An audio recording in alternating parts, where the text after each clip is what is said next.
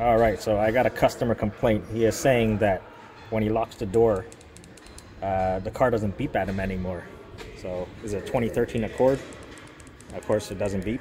And uh, yeah, so there's this thing called oh, I call it a beeper module, and it's just this little this little speaker. You can see in that hole. There's a little speaker in there, and this thing lives on the back underneath uh, underneath your car, and I'll show you where it goes.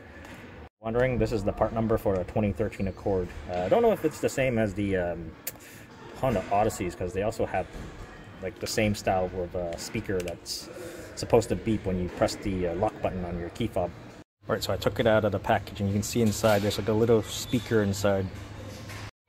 Alright, so going underneath your vehicle, that beeper module sits right here. Yeah, so that it is. You can see, you know, where, where it is at. Uh, it's prone to uh, moisture and water and stuff getting to it. So, uh, yeah, let me unplug it and uh, let me change it. So I plugged in the new one, right? And uh, here, there you go. You got the beep back. so yeah, that's that's pretty much it. If you're uh, you know locking the doors and it doesn't beep, this little tiny speaker that lives behind underneath your bumper is uh, what makes that noise.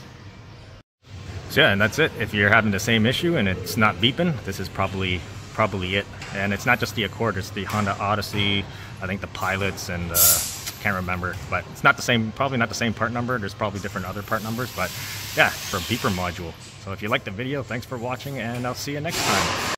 And uh, I took apart the old one, right? And uh, this is all it is. That's the backside.